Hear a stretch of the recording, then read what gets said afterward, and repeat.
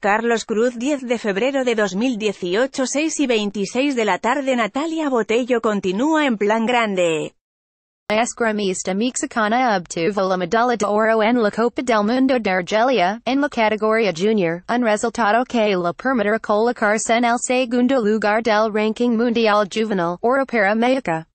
Sablista. Este logro se planeó, y mi entrenador y yo nos hemos esforzado mucho para conseguir este tipo de resultado, entonces cada sacrificio tiene su recompensa y gracias a Dios se están dando frutos, declaró Botelo, quien compite en la modalidad de sable.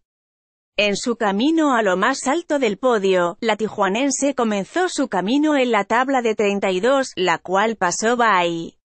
Después en la siguiente ronda se midió a la italiana Claudia Rotilli, a quien venció por marcador de 15 a 5, en los cuartos de final dio cuenta a la también italiana Siria Mantegna por 15 a 2 y ya en la semifinal eliminó a la alemana Lisa por 15 a 6 y en la final venció con contundencia a la italiana Giulia Arpino por 15 a 7. Había mucha rivalidad y nivel en el evento, sin embargo, en esta competencia no se me complicó nadie porque gané con mucha ventaja. Me siento muy contenta por la esgrima muy bonita que tiré hoy, señaló. Botello continuará su preparación ahora para el Campeonato Panamericano de Costa Rica y después buscará su lugar para los centroamericanos.